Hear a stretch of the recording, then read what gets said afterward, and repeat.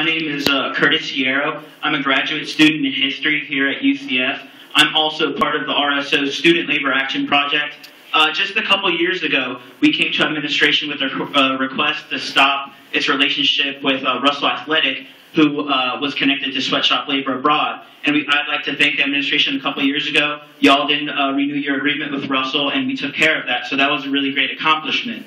I'm here today. Uh, obviously, my friend Lewis came up and articulated kind of our views on the way workers are, uh, treated on campus.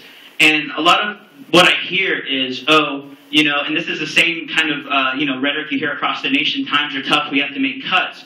But I feel as a university, we shouldn't just be market level with everyone. We should be setting the standard for the way workers and students are treated on this campus. So, uh, Student Labor Action Project has been working on a set of proposals that we feel would uh, uh, better the university and for both students, workers, faculty in regards to oversight of what corporations could be brought to campus, in regards to uh, worker wages. Uh, right now, the workers here at, at, UCF pay the highest parking fee than uh, any other workers in the state of Florida.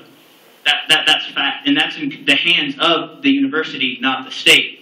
So, um, you know, I came to this university in 2006, and I've watched it grow. And, and under uh, y'all's tenure, it, has been, you know, we've really become one of the top universities in the nation, and, and that's fantastic.